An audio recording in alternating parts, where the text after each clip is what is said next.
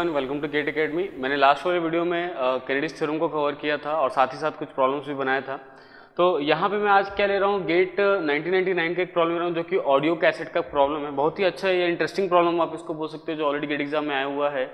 तो इसका सोल्यूशन मैं देखूँगा। बेसिकली क्या होता है, ये वाला जो प्रॉब्लम होता है, बहुत सारे स्टूडेंट को कन्फ्यूजिंग लगता है। थोड़ा सा कंफ्यूज करता है इसका राइट वे में सोल्यूशन क्या होना चाहिए या कैसे बनेगा करके। दैट्स वाई मैं इसको क्या करूँगा, आज लूँगा और इसको सिंपल में बनाने की कोशिश करूँगा। तो आप स्टार्ट सेंड तक देखिएगा और इसके सोल्यूशन को। कितने, जितना सिंपल हो पाए, उतने सिंपल में बनाने की इसको कोशिश करते हैं। देखो प्रॉब्लम यहाँ पे दिया हुआ है। For the audio cassette mechanism shown in the figure where is the instantaneous centre of rotation that is where is I centre of the two spools आपको आई सेंटर बताना है और पॉइंट पी यहाँ पे दिया where is the I centre point P point P जो है वो आई सेंटर कहाँ पे है, ये आपको फाइंड आउट करना था। देखेंगे ये कैसेट का ऐसा प्रॉब्लम दिया हुआ है। बेसिकली कैसेट का इन दोनों को बोला जाता है स्पूल्स बोला जाता है। यहाँ पे देखोगे spelling S P W L S दिया है। So this one is bigger spool this one is small spool because आपको अगर थोड़ा सा याद होगा, जब आप ओल्डन डेज़ में जब कैसेट में प्रॉब्लम सुनते थे प्लेयर में डाल के तो वैसे कंडीशन में क्या होता था, ये ये रिबन होता है, इस रिबन को क्या होता है, ये रिबन इस रोलर के थ्रू इस रोलर के थ्रू होते हुए क्या होता है, इस वाले कैसेट से मान लो, अगर बड़े वाले कैसेट में सपोज़ करो, अगर चढ़ रहा है और छोटे वाले पे सपोज़ करो, उतर रहा है, ऐसा हो सकता है, या रिवर्स भी हो सकता है। मान लो इस बड़े वाले से उतर रहा है और छोटे वाले पे चढ़ रहा है, ऐसा भी हो सकता है। दैट मीन सपोज़ करो, अगर कैसेट बड़े वाले बड़े वाले स्पूल से अगर ये रिबन जो है वो बाहर आ रहा है, निकल रहा है यहाँ से तो ये ऐसे होते हुए जाएगा और ये कहाँ पहुँचेगा बताना? छोटे वाले स्पूल में जाके क्या होगा? रोटेट होगा। यानी इसका जो डायरेक्शन होगा रोटेशन का देखो ये इस टाइप का हो जाएगा और इसका भी जो डायरेक्शन होगा रोटेशन का वो इस टाइप का हो जाएगा यहाँ पे। सपोज़ करो इसका मैं बोलता हूँ, राइट, इसका रोटेशन हो गया तो ये ऐसे रोटेट करेगा। इसका मतलब इस वाले से रिबन बाहर आएगा, निकलेगा और ऐसे होते हुए कहाँ जाएगा बता ना इस वाले में जाएगा। तो धीरे धीरे इसके ऊपर रिबन चढ़ेगा और इसके ऊपर से रिबन क्या होगा? उतरेगा, यानी बाहर आ जाएगा। ऐसा बोल पाऊँगा। तो ये कैसेट के बारे में सबसे पहले मैं आपको बता दूँ, जिसको कैसेट के बारे में नहीं पता होगा, ऐसा पता चलेगा कि ये रिबन होता है और कैसेट इस टाइप से चला जाता है यहाँ पे। अब अब बात करेंगे यहाँ पे कि पूछा है where is the centre of rotation I का वैल्यू बताना है ऑफ़ टू स्पूल्स दोनों स्पूल्स का आपको बताना है आई सेंटर आपको बताना है कि कहाँ पे लाई करेगा।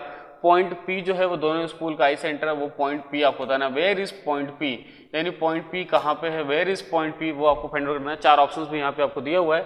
आप देख सकते हो चार ऑप्शन यहाँ पे दिया हुआ है। चार ऑप्शन के बारे में बात करूँगा तो प्रॉब्लम को सॉल्व करूँगा तब। सपोज़ करो, अगर यहाँ पे भी ये जो कैसेट है, उसको अगर फिक्स मानता हूँ लिंक नंबर वन सपोज़ करो, ये फिक्स है लिंक नंबर वन है cassette cassette is link number one इसका जो फ्रेम है बाहर का, वो लिंक नंबर वन है। और ये वाला जो स्पूल है, इस वाले स्पूल को अगर मैं बोलता हूँ सपोज़ करो लिंक नंबर अगर टू बोल रहा हूँ और इस वाले स्पूल को, छोटे वाले स्पूल को लिंक नंबर थ्री बोल रहा हूँ। तो तीन लिंक यहाँ पे लिया। एक एसेट का जो फ्रेम हो गया, वो लिंक नंबर वन जिसपे दो स्पूल लगा हुआ है spool number two spool number three मेरे को जो निकालना है वो आई सेंटर निकालना है। और किसका आई सेंटर निकालना है बताना? टू स्पूल दोनों स्पूल का आई सेंटर का मुझे निकालना है तो वैसे कंडीशन मुझे निकालना है I I two three where is I two three I two three कहाँ पे होगा? वो मुझे फाइंड आउट करना है। Where is the point I two three और उसी पॉइंट को पी वाला पॉइंट भी बोल रहे हैं। Where I two three is the point P और इसी पॉइंट को पी वाला पॉइंट ही बोल रहे हैं। Where is I two three I two three कहाँ पर आएगा? इसको देखते हैं यहाँ पे। So basically I two three कहाँ पर लाई करेगा? ये देखना है हम लोगों को, चार ऑप्शन भी दिया हुआ है।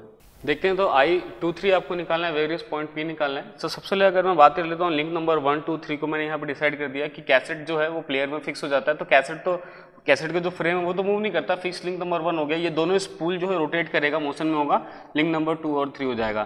तो अगर मैं आई सेंटर की बात करूँ, अगर मेरे पास तीन लिंक है link number one link number two और लिंक नंबर थ्री तो मेरे पास तीन आई सेंटर होगा। एक होगा वन टू होगा, दूसरा होगा टू थ्री होगा और तीसरा आपके पास वन थ्री होगा। तीन आपके पास आई सेंटर हो जाएगा। आई वन टू हो जाएगा आई वन थ्री हो जाएगा और साथ ही साथ हो जाएगा आपके पास आई टू थ्री हो जाएगा। ये तीन आई सेंटर होगा। तीनों आई सेंटर कहाँ कहाँ पे, उसके बारे में बात करेंगे तो दो आई सेंटर को तो आप ऐसे ही लोकेट कर सकते हो। कौन कौन सा दो आई सेंटर यहाँ देखेंगे? तो देखो लिंक नंबर कैसेट जो आपका लिंक नंबर वन है और ये स्पूल जो है लिंक नंबर टू है। तो ये स्पूल है इस सेंटर के अबाउट रोटेट हो रहा है, इसलिए ये वाला जो पॉइंट हो जाएगा, ये बन जाएगा आई वन टू आपका बन जाएगा ये वाला पॉइंट पॉइंट ए जो है। तो पॉइंट ए जो है वो आपका बन जाएगा आई वन टू बन जाएगा। साथ ही साथ कैसेट मूव नहीं कर रहा फिक्स है। लेकिन उस पर ये जो थर्ड वाला स्पूल है, वो क्या कर रहा है, बताना रोटेट कर रहा है। इस पॉइंट के अबाउट रोटेट कर रहा है। तो ये वाला पॉइंट एच जो है, वो बन जाएगा आपके पास आई वन थ्री बन जाएगा। तो आप देख सकते हो एच वाला जो पॉइंट है आपके पास, वो क्या बन गया, बताना आई वन थ्री बच गया है। और आई टू थ्री आपको निकालना है that is where is point P point P कहाँ पे होगा बताना है। दो आई सेटर हमने लोकेट कर दिया है बाई इंस्पेक्शन इंस्पेक्शन के थ्रू दो आई सेंटर लोकेट दिए हैं और बाकी पॉइंट पी थर्ड वाला आई सेंटर आपको बताना पड़ेगा where is I two three I two three कहाँ पर होगा। देखते हैं, अगर मैं कैनेडिस थ्योरम की बात करूँ तो कैनेडिस थ्योरम बोलता है, अगर if we have three three links अगर तीन लिंक आपस में कनेक्टेड है रिलेटिव मोशन है बिटवीन द थ्री लिंक्स तो वैसे कंडीशन में उनका जो आई सेंटर होना चाहिए स्ट्रेट लाइन पे आना चाहिए सेम लाइन पे आना चाहिए। इसका मतलब ये तीनों ही I centre I one two I one three और आई टू थ्री एक स्ट्रेट लाइन पे आना चाहिए।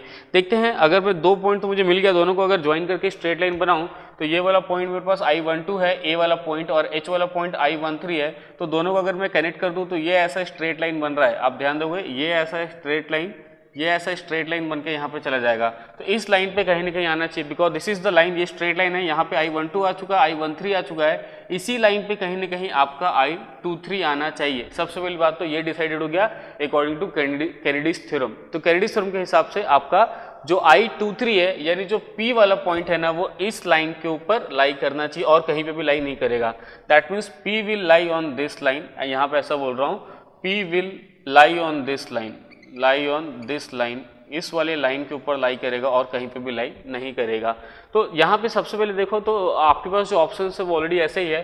Point P lies on lies to the left of both the spools right at the infinite along the line joining A and H देखो, वही दिया है ए and H दिया है। ए और एच को जोड़ने वाला लाइन जो है तो आप देख सकते हो, मैं जो लाइन ड्रॉ किया हूँ, ये भी वही लाइन है जो ए और एच को जोड़ते हुए जा रहा है। वो वाला लाइन यहाँ पे बन जाएगा। ये वाला सेकंड वाला देखो ज्वाइनिंग ए एन एच वो वो भी वही बोल रहा है। थर्ड वाला बोल रहा है joining A and H on the line joining A and H तो सब ऑलमोस्ट वैसे ही है line joining A and H इसमें भी ऐसा ही बोल रहा है। तो तीन तीन ऑप्शन तो ऑलमोस्ट है लेकिन थोड़ा सा डिफरेंस यहाँ पे आ जा रहा है कि, कि ये जो डेटा है line joining A and H पे तो बोल रहा है लेकिन कहाँ पे बोल रहा है? बिकॉज़ ये लाइन तो यहाँ लाइन अगर ड्रॉ करूँगा तो लाइन तो यहाँ पे यहाँ से यहाँ तक कहीं भी जा सकता है। तो आपका पी या तो यहाँ सकता है या तो यहाँ सकता है यहाँ यहाँ। कहीं पे भी आ सकता है। यानी दोनों स्पूल के लेफ़्ट पे आ सकता है पी दोनों स्पूल स्पूल के राइट साइड पे आ सकता है इस लाइन के ऊपर पी या दोनों स्पून के मिडिल में आ सकता है, कहीं पे भी आ सकता है। तो देखेंगे कहाँ पे आना चाहिए पी को।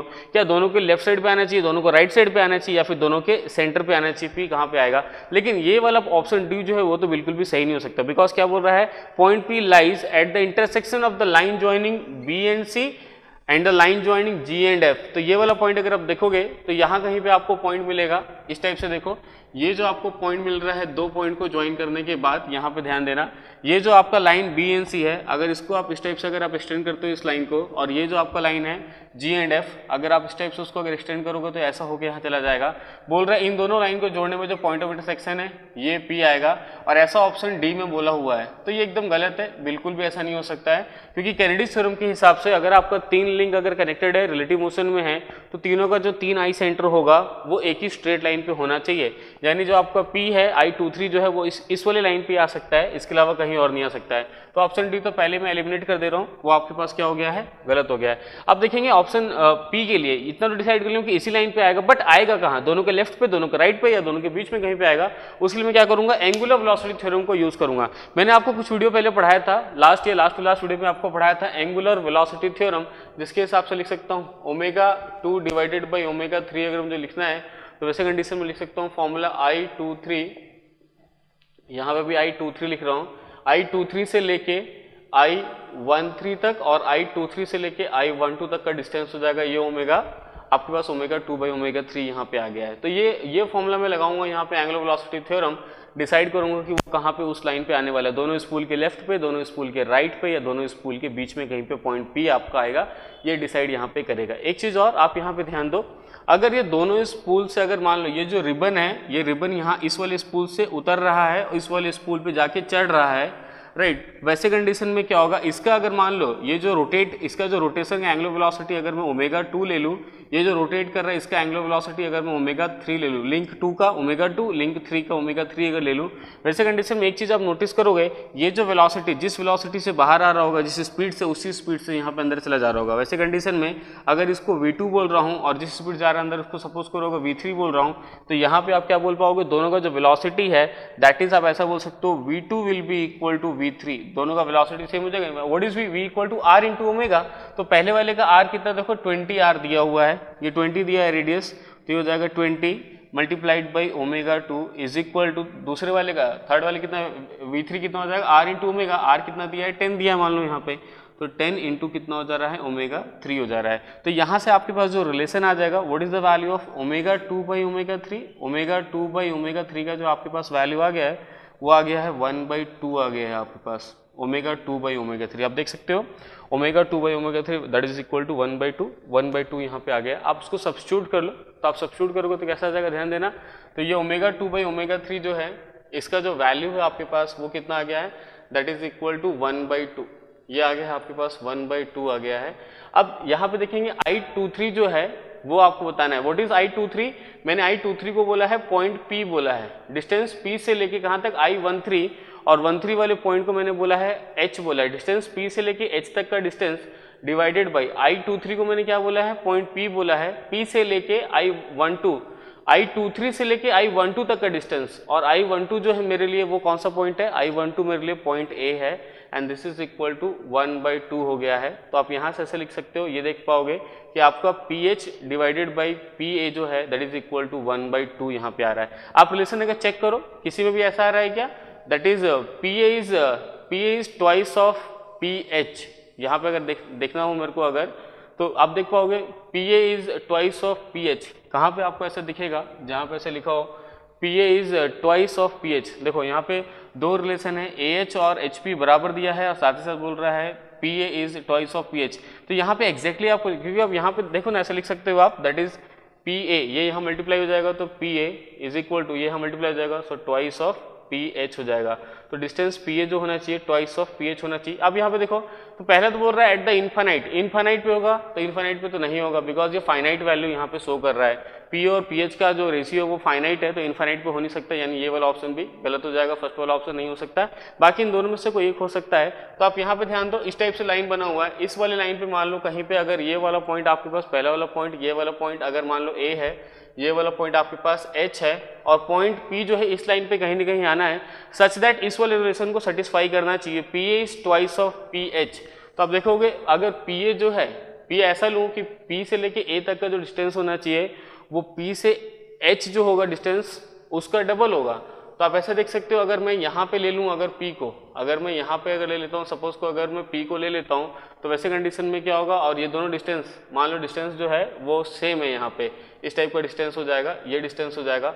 वैसे कंडीशन में कैसे हो जाएगा? मान लो आपका जो ए एच है ए एच जो है, वो अगर सपोज़ करो एच के बराबर हो गया तो वैसे कंडीशन में क्या लिख पाओगे? वॉट इज़ पी ए तो पी ए का, अगर ये ऐसा हो जाता है तो वैसे कंडीशन में आप क्या लिख पाओगे? वॉट इज़ पी ए तो पी से लेके ए तक का डिस्टेंस कितना हो जाएगा बताना? तो ये आपके पास हो जाएगा पी एच हो जाएगा और प्लस कितना हो जाएगा बताना? ए एच हो जाएगा आपके पास। एंड सिंस आई नो मुझे पता है कि ए एच जो है वो एच पी के बराबर है तो वैसे कंडीशन में आप जहाँ पे ए एच लिखा है, उसको आप क्या लिख सकते हो बताना? एच पी लिख सकते हो। तो ये आपके पास, ये आपके पास पी एच पी एच रहने दो, जहाँ पे ए एच लिखा हुआ, वहाँ पे एच पी पुट कर दो या पी एच पुट कर दो यहाँ पे तो वैसे कंडीशन में आ जाएगा आपको P A is equal to twice of P H आ जाएगा।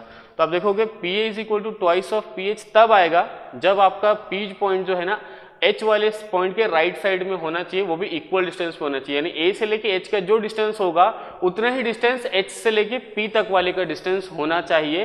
तब जाके आपका ये रिलेशन सेटिस्फाई करेगा, जो यहाँ पे सेटिस्फाई करना चाहिए। तो वैसे कंडीशन में सीधा बोल सकता हूँ कि आपका जो पॉइंट पी होगा आई सेंटर टू थ्री जो होगा वो दोनों स्पूल के राइट वाले साइड पे होगा, यानी यहाँ कहीं पे होगा, और रिलेशन ये सेटिस्फाई करेगा A H is equal to H P क्योंकि देखो, ध्यान से देखो, अगर आप यहाँ पे देखो, कुछ स्टूडेंट यहाँ पे कंफ्यूज जाते हैं। P H is twice of A P but यहाँ पे उल्टा लिखा है right A P is twice of P H लिखा तो कंफ्यूज नहीं होना ऑप्शन बी को करेक्ट मत करना बट यहाँ पे आपके पास जो करेक्ट ऑप्शन होगा, वो ऑप्शन सी वाला आपके पास करेक्ट होगा। वही ऑप्शन सी सी वाला क्यों करेक्ट है? बिकॉज़ यहाँ पे साफ़ साफ़ है, अगर मैं ए एच और एच पी को अगर बराबर लेता हूँ तब जाके ये रिलेशन जो आना चाहिए कैनेडिस थ्योरम से या एंग्लो वेलोसिटी थ्योरम से वो सेटिस्फाई होगा यहाँ पे। तो देखो, ऐसे मैंने यहाँ बनाया। ये पहला वाला स्पूल था बिगर वाला स्पूल और ये स्मॉलर वाला स्पूल था।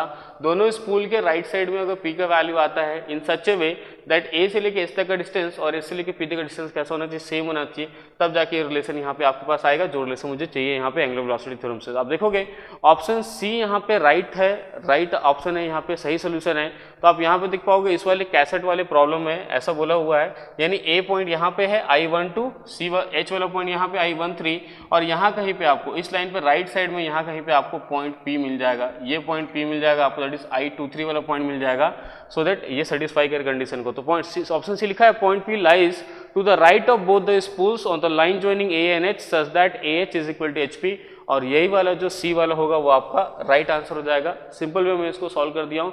तो मुझे यहाँ पे किसी चीज़ का ज़रूरत नहीं पड़ा, सिर्फ़ दो चीज़ का ज़रूरत मुझे यहाँ पड़ा। पहला कैरेडिस थ्योरम जो बताता है कि अगर तीन लिंक अगर कनेक्टेड रेडी मोशन है तो तीनों का आई सेंटर एक स्ट्रेट लाइन पे होना चाहिए। पहला वो यूज़ किया। और दूसरा मैं जो यहाँ पे यूज़ किया, सिर्फ़ एंगुलर वेलोसिटी थ्योरम जो ऑलरेडी मैं कुछ क्लास पहले डिराइव करके रखा था ऑलरेडी मैं आपके साथ डिस्कस किया हूँ कुछ वीडियोस के पहले। आप चाहो तो उन वीडियोस को देख सकते हो।